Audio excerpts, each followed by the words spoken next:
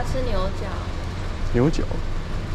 可是他给我的八八折券这里不能用。嗯。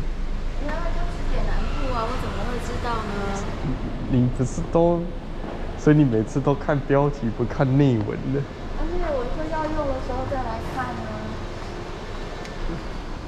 嗯。知其一，而且知其二。你一定是在搞表演特技。对，